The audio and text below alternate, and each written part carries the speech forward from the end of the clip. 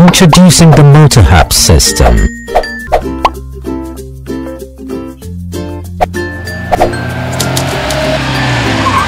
Oga, where your particulars? Show me your driver's license.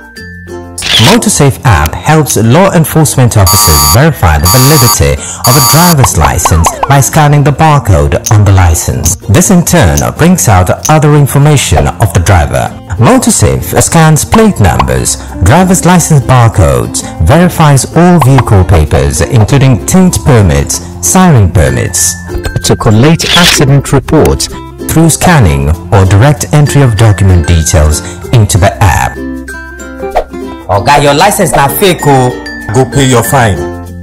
After fine is issued on the spot, drivers can also pay their fines on the spot by using the card payment available or go pay directly into the TSA account.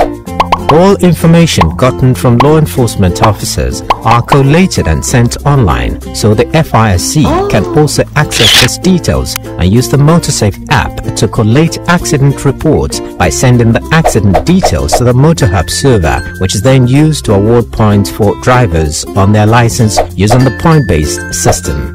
This information also helps the insurance companies using the Motor insurer know every driver's history before knowing the type of insurance to issue.